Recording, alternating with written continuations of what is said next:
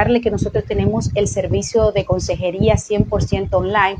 No importa en el lugar del mundo donde tú estés, podemos ayudarte. Así que si estás pasando por alguna situación complicada, depresión, ansiedad, mucho estrés, no sabes cómo manejar tu vida, estás pasando por una ruptura, tienes adolescentes rebeldes en casa, no sabes cómo manejar cualquier situación, pues nosotros estamos aquí para ayudarte. Así que puedes escribirnos por mensaje para más información sobre nuestros planes y servicios. Así que si estás pasando por alguna de las situaciones que, que mencioné anteriormente, nosotros te podemos ayudar y no tengan miedo de buscar ayuda.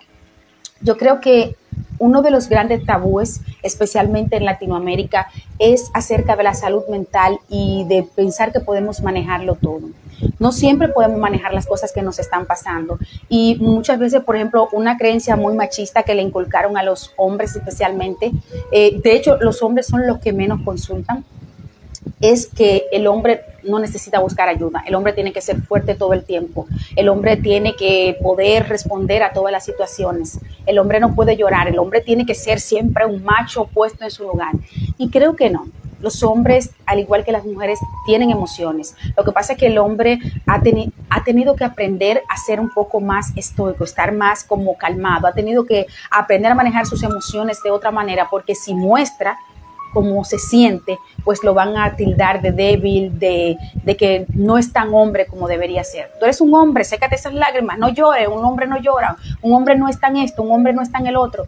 Y eso le ha hecho mucho daño a muchos hombres porque por eso pierden relaciones hermosas, pierden incluso relaciones con sus hijos por ser tan cerrados y negarse a buscar ayuda cuando lo necesitan. Igualmente nosotras las mujeres a veces pensamos que podemos manejar las situaciones y pensamos que hablar con alguien y simplemente ya con eso podemos solucionarlos, pero no siempre es así. No todas las cosas se pueden solucionar simplemente porque conversemos con una amiga. Hay cosas que requieren eh, pues tratamiento, hay cosas que requieren un enfoque distinto. Entonces nuestro servicio de consejería pues puede proveerte esa ayuda. Quiero eh, leerle una frase.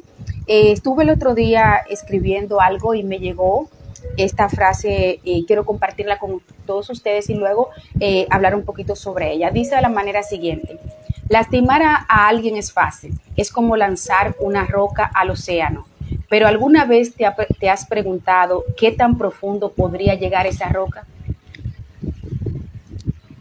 A veces presas, presos de la ida, presos de qué sé yo, de muchas emociones que no hemos trabajado, cuando estamos muy molestos, podemos herir a alguien con facilidad, podemos ofender a, una persona con facilidad.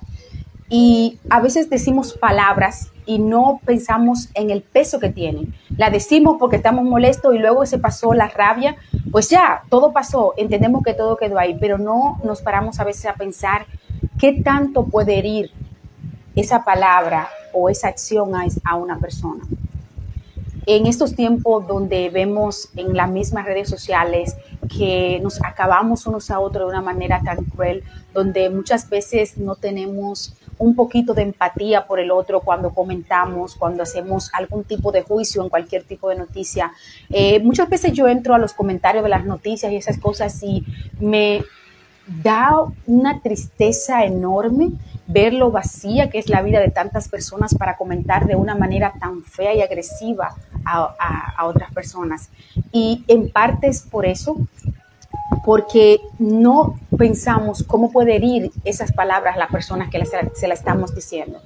Y como decía, en tiempos donde la empatía es algo que por lo que carecen muchas personas, debemos ser cuidadosos cuando decimos una palabra, especialmente cuando se la decimos a nuestra pareja. A veces yo escucho esposos que discuten y se dicen palabras tan feas, las dos partes, no estoy yéndome por un solo lado. Eh, cuando discutimos y nos decimos palabras ofensivas a nuestros hijos, a veces lo hablamos de una manera tan horrible. Y sí, eh, Mar me dice, hay mucha, sí, mucha falta de amor.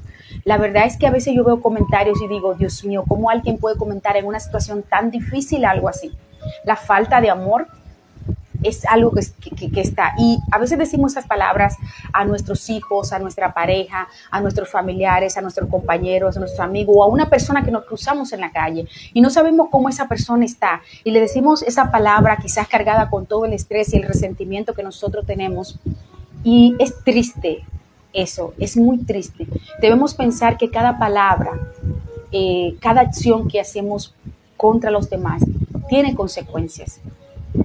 Y debemos trabajar en nosotros mismos, nuestras heridas, cómo nosotros estamos, cómo nos sentimos, para no herir tan a la ligera a los demás, para no hacer comentarios tan fuertes. Entonces vamos a respetar un poco más a nuestros esposos, a nuestras esposas, a nuestros hijos, a nuestros familiares y a las personas, no importa si lo conocemos o no cada vez que vamos a utilizar el teclado del computador para, o del celular para escribirle a alguien un comentario, pensemos si nos gustaría que nos lo hicieran a nosotros mismos. Cuando decimos una palabra maldicha a nuestros hijos, pensemos si en verdad eso quisiéramos que nos lo dijeran a nosotros. O cuando insultamos a nuestras parejas, pensar si nos gustaría que nos hicieran lo mismo a nosotros, cómo nos sentimos cuando nos hacen eso. Creo que esa falta de empatía, y de amor por el prójimo es lo que hace que a veces el mundo sea un lugar muy difícil para muchas personas. Y quizás unos son fuertes y pueden ignorar esos malos comentarios, pero otras personas están luchando batallas que tú no sabes. Hay personas que pueden estar simplemente levantándose, haciendo un esfuerzo todos los días para salir, para trabajar, para atender su familia, pero por dentro se sienten destruidos. Y quizás tú vienes y le dices algo sin ningún tipo de, vamos a decir, de, responsabilidad afectiva y tú no sabes qué tanto daño tú puedes causarle a esa persona. Es verdad, no es tu responsabilidad cómo alguien lleve su vida, pero sí es tu responsabilidad decir las cosas de una manera, eh, vamos a decir, empática. No estoy diciendo con esto que si alguien se equivoca, si tu pareja se equivoca, si tus hijos se equivocan, tú no le vas a decir nada porque hay que ser muy empático. Una cosa no tiene que ver con la otra. Me refiero que uno puede hacer reclamos, decirle a alguien que hizo algo mal, pero con empatía. No hay que hacerlo desde el insulto, desde la rabia, desde la ira. A veces debemos tomarnos cinco minutos y pensar lo que vamos a decir, si realmente eso es lo que queremos transmitir. Y creo que esa es una de las cosas más difíciles, cuando estamos en nuestro límite, poder parar, tomarnos cinco segundos, respirar y luego decir lo que vayamos a decir. Pero vamos a trabajar un poquito en eso, en la empatía, en no herir a las personas así como de gratis, porque es muy difícil, eh, vamos a decir, borrar el daño que hace una palabra. O sea, tú puedes construir una relación por 20 años, sea de pareja, sea de amistad o con tus hijos, y en una palabra, en un momento, tú destruir todo eso. Una relación que te puede tomar años, tú la puedes destruir con dos o tres palabras.